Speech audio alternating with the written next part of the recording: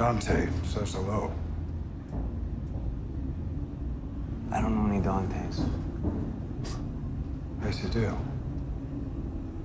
He worked at the Kehoe airport with my son, Kyle. You know him too. Tell me what happened. All right, Pops, there's the door, all right? Now, I don't know what igloo you crawled out of, but I think it's time you crawled back in. And trust me, that's your, uh, Best move. Oh.